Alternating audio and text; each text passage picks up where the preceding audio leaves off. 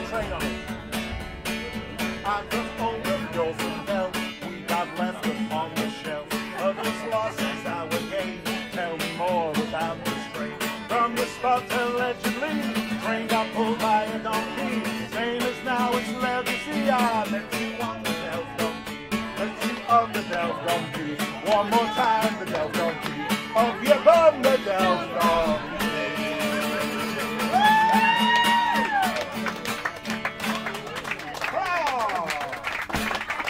A round of applause for this lady here.